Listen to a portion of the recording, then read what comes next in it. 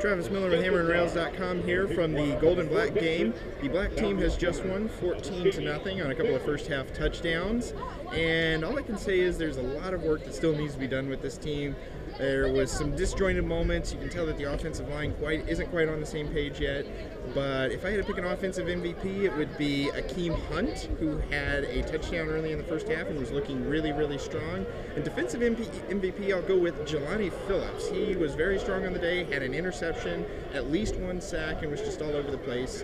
Michael Rouse III and Bruce Gaston also had sacks, and generally the defensive line itself was dominant. So there is some promise going into the season. Uh, Coach Hazell actually showed us some things that we hadn't seen in a very long time, such as play action passes and uh, non-bubble screens. So it was it was all very refreshing to see. Receivers were blocking downfield, and it looks like there's going to be some promise coming into the year. So uh, let's go into the off season. Let's get stronger and let's get better. Once again, this is Travis Miller at HammerandRails.com saying boiler up.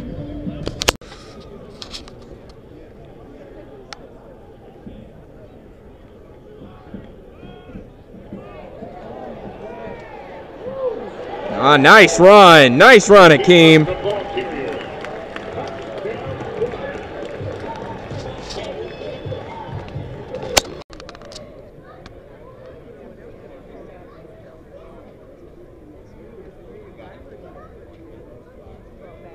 Nice pass, touchdown.